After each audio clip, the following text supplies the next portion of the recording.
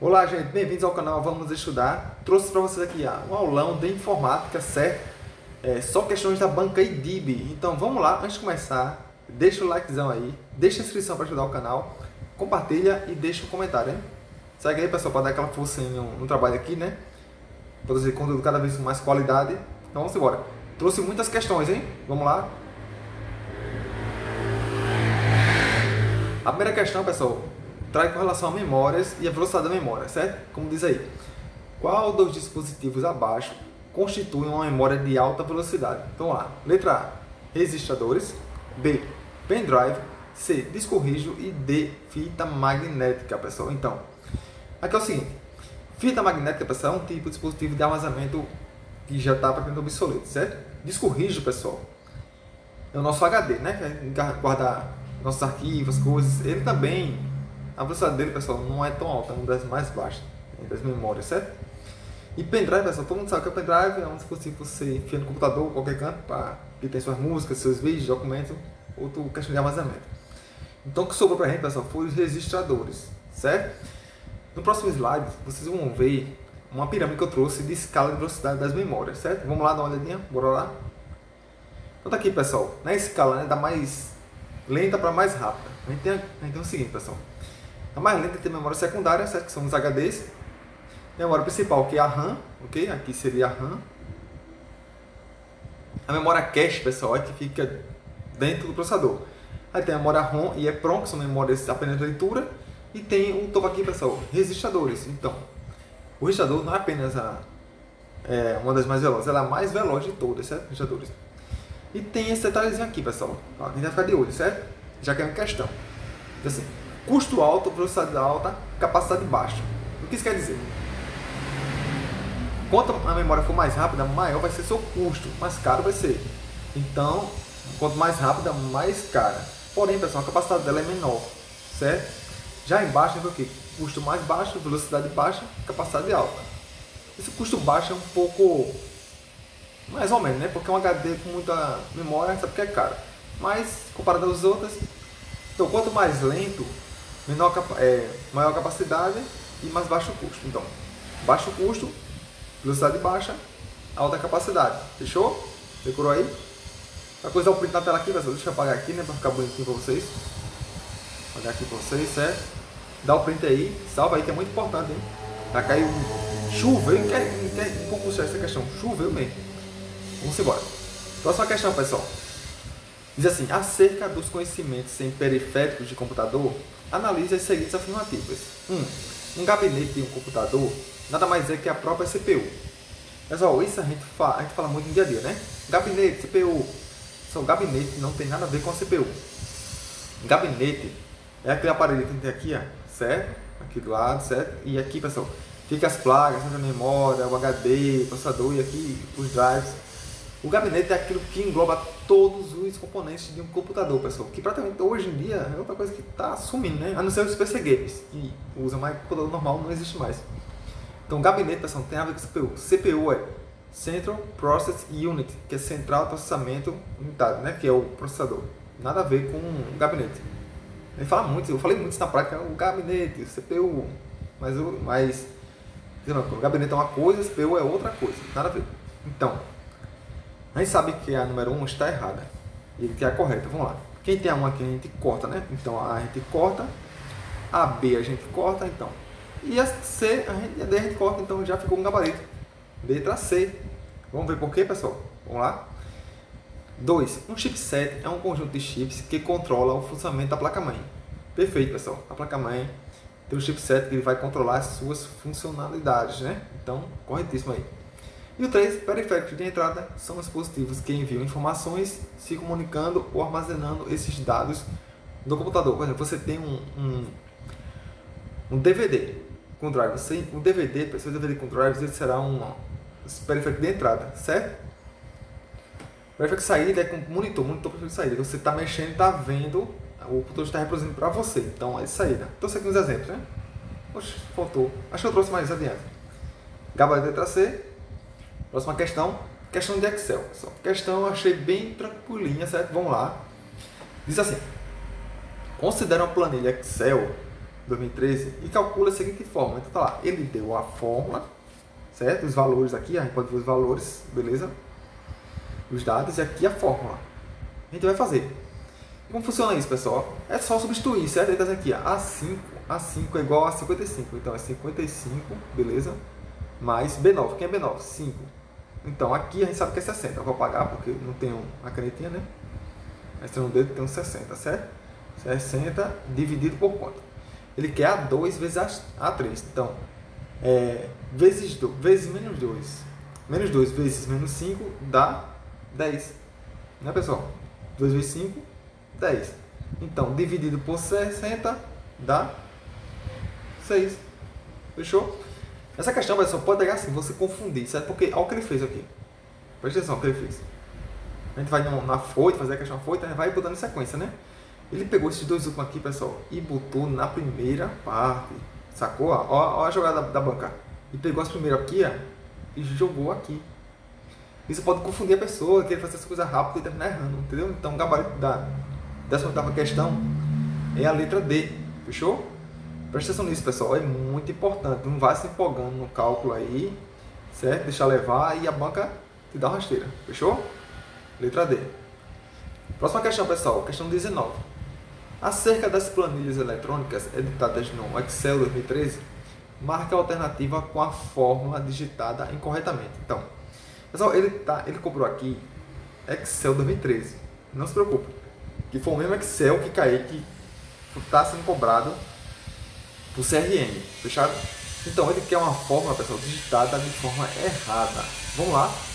Letra A, A7 mais B5, B igual a 1 mais A2, C igual e 9 menos B5.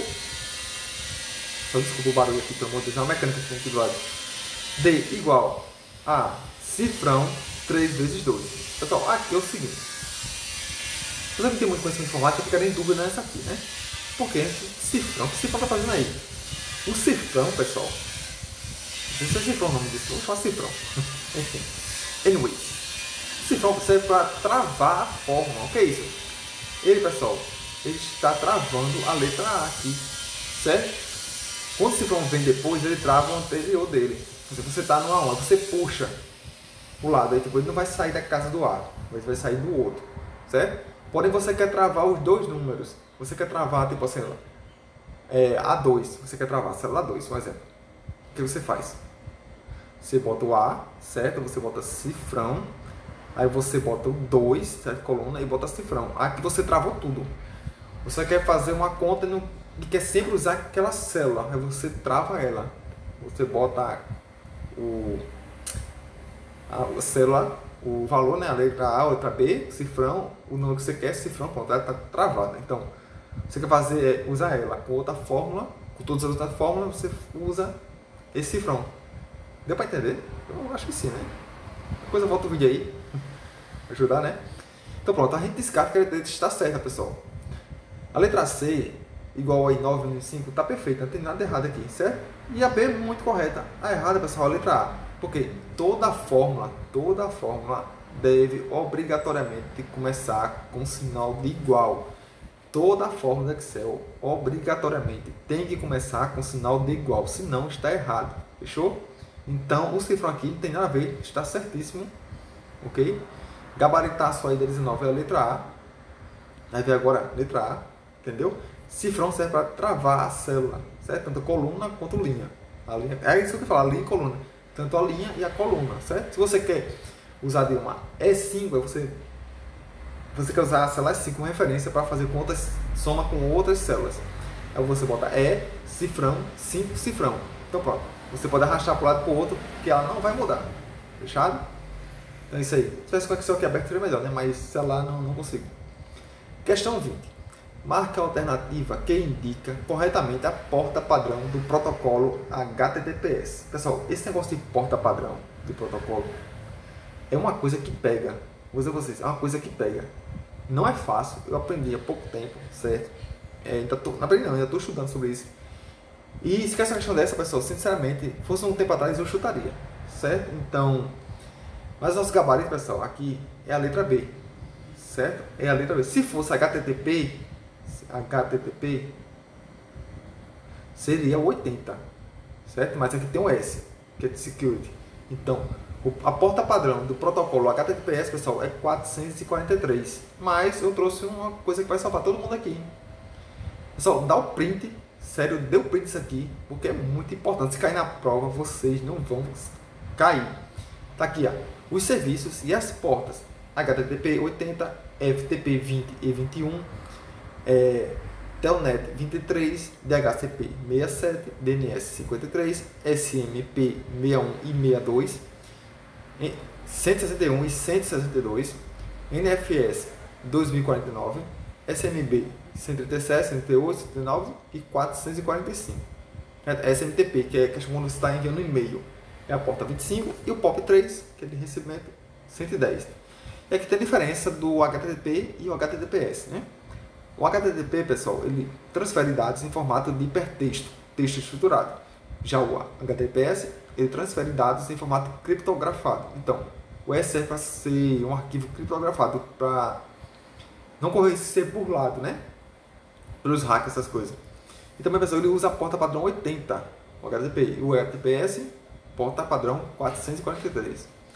O HTTP, pessoal, ele não é seguro, certo? Já o S, ele é protegido usando tecnologia SSL, certo? O HTTP, ele começa com HTTP ponto, dois pontos, barra, barra. E o outro, a diferença é que tem um S antes, né? Então é isso. Dá o um print aqui, salva isso, certo? Copie no caderno umas 10 vezes para você decorar. E se cair, você não vai errar a questão. Show? Próxima questão. Eu vou andando aqui porque trouxe muitas questões e isso vai ficar um vídeo muito longo. Vamos lá. Após escrever a frase, eu gosto de pesquisar no Microsoft Word, empregar os comandos Ctrl A. Vamos lá. Ele empregou comando, né? Cadê a caneta? Ctrl A, certo? Ctrl X e Ctrl Z. Certo? Nesta ordem, o que terá acontecido com seu texto ao final do processo? Vamos lá. Letra A. Todo o texto terá sido apagado. B. Seu texto terá sido salvo. C. Somente a palavra pesquisar terá sido recortada e então colada novamente. D. Nada. Seu texto permanece como estava antes dos comandos. Vamos lá. O que seria o Ctrl A, pessoal? Ctrl A no, no Word, ele é igual a. Deixa eu aqui, caneta. Ctrl A, pessoal, vem de All. E o que é All? All em inglês é tudo, pessoal. Então, Ctrl A serve para selecionar tudo. Então, você deixou um texto, com Ctrl A, selecionou tudo. Aqui, pessoal, ele escreveu a, frase Eu gosto de pesquisar. O que ele fez? Ctrl A. Ctrl A. Ele selecionou tudo. Fechou? Ele selecionou tudo, aí ele fez Ctrl X. O que é Ctrl X, pessoal? É recortar. Lembra, o X, pessoal, parece com o quê? O que parece com o X, pessoal? Aqui. Parece com uma tesoura, né? Então você lembra o X com a tesoura, que é para recortar. Certo? E o X, pessoal? E o Z, né? E o Z? O Z, pessoal, ele é de desfazer. Desfazer. Entendeu? Você lembra? Desfazer. X, desfazer. Então, ele selecionou tudo, certo? ele recortou e desfez. O que aconteceu? Nada. Letra D.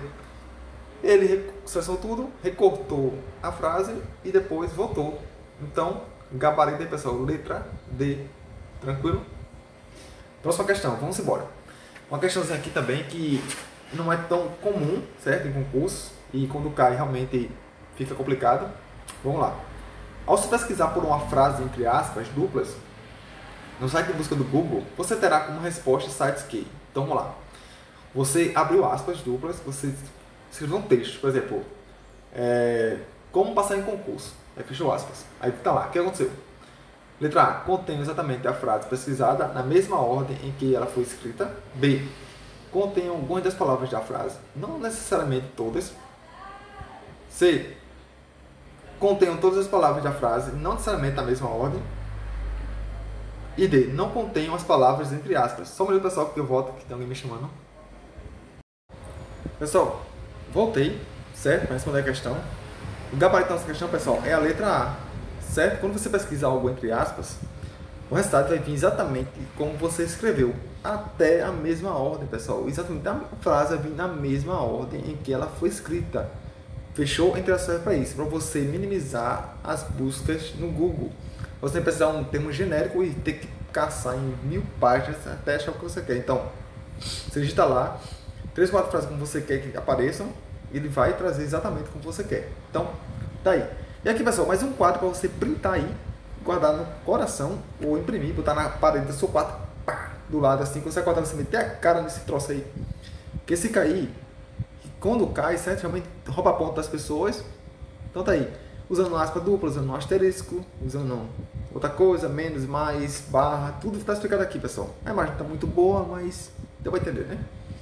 Então vamos lá, próxima questão. Aqui toda a parte, pessoal, trouxe dois, ó. coisa pausa o vídeo, dá o print. Vamos embora. No Microsoft PowerPoint, o comando associado à tecla F5, eu botei essa questão na comunidade. Pessoal, dá uma olhada na comunidade, todo dia tem questões, hein? Duas questões por dia na comunidade para vocês interagirem para craque de vez. Letra A, serve para ele vai abrir uma nova apresentação. B, ele fecha a apresentação atual. C, inicia um modo de apresentação em tela cheia. Ou D, copia a apresentação atual. Vamos lá, essa aqui é tranquila, hein? Tá lá no PowerPoint. Você aperta F5, o que acontece, pessoal? Ele vai iniciar um modo apresentação em tela cheia. Fechou? F5 serve para isso. Você está aqui, ó. Vocês podem ver a tela lá, você clica aqui, ó. O que, diz aqui, ó? Slide Show from Beginning. F5, pessoal. Então, o F5 serve para você começar a apresentar o slide do início, em tela cheia. Fechou? Gabaritaço aí. Gabaritaço é bom? Letra C. C de Cristo. Vamos embora. Próxima questão. Dois itens abaixo, os que podem ser considerados periféricos de computador são. Vamos lá. Qual daqui são os periféricos, né? A gente sabe que o periférico pode ser de entrada e saída. Vamos lá. Letra A. Arquivos impressos pelo computador. Vocês acham, pessoal?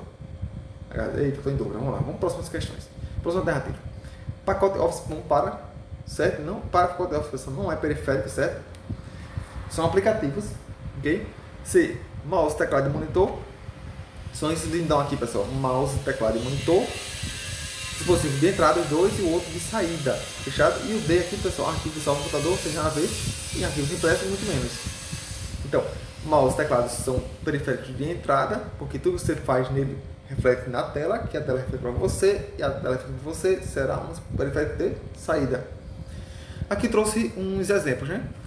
Entrada, a gente tem um teclado, tem um mouse, tem um webcam, tem aquela mãozinha, tem a caneta. Por que está aqui no meio, pessoal? Isso aqui. Isso aqui porque são os dois. Ele pode ser tanto de entrada quanto saída. Um DVD pode ser de entrada, saída. Um, um iPad, um, um tablet, certo? Um roteador, a impressora, pessoal, de saída, um monitor de saída, um som de saída, um projetor de saída. No Excel, ao se digitar igual a soma B1, 2.B3 na célula A1, teremos como resultado letra A, a soma das células B1, B2 e B3. B, a soma das células A1, A2, B2 e B3. C, a média das células A1, A2 e B3. A1, B1, B2 e B3 D. A soma das células A1, A2, A3, B1, B2, B3. Só é o seguinte. Vou usar vocês aqui. Quando tem dois pontos, pessoal, é igual a T. Certo? Dois pontos é igual a T. Tipo, se você bota A1, dois pontos, D350, então é A1 até D350. Certo? Então, sabendo disso, nosso gabarito, pessoal, é a letra A. Mas e se fosse, pessoal, se fosse ponto e vírgula. E aí? Se fosse ponto e vírgula, o que seria? Ponto e vírgula, pessoal, são intercalados. Você, tipo assim, tem A1, certo? Ponto e vírgula, C1. Então, será apenas A1 e C1, certo? Ponto e vírgula não é um intervalo, certo? São umas células que você quer usar, não são intervalo. O intervalo é dois pontos, fechou? Então, se vocês, ó, ele quer B1, B2, B3. Então, eles estão isso aqui, ó certo? Esse, isso aqui, ó. B1, B2 e B3, certo? Ok? Fechado? E foi esse o cadernaço de questões da banca IDIB de informática, certo? É, foram bastante questões. Vou trazer mais questões de informática para a gente arrebentar de vez aí, certo? Espero ajudar vocês do fundo do coração aí. Então vamos lá. Se chegou até aqui não é inscrito no canal, se inscreva no canal para ajudar, pessoal. Obrigado pela força que eu estou recebendo. Deixa um comentário para ajudar quem achou do vídeo, ok? Sugestões aí, conteúdos. E outra coisa, pessoal. Peço um pouco de paciência vocês que estão aí de GQ, porque tá uma correria danada aqui. Eu perdi todo o conteúdo que estava no meu cartão de memória. Estou fazendo de novo, certo? Então, é o seguinte, é muita luta. Eu estou terminando o segundo caderno da lei orgânica. Porque eu tenho um, dois, três, quatro cadernos, não, conteúdo só. Porque você lá é fraco, pessoal. Eu trabalho com A20 de Samsung e faço caderno em pequenas partes que são e não salva direito. Aí vai com defeito, certo? Eu não quero entregar nada com defeito para vocês, entendeu? E é isso, pessoal. É, paciência aí, eu creio que segunda-feira tem uma novidade, até no máximo terça-feira. Valeu aí pelo vídeo, vamos estudar, vamos aprovar, hein? Fui!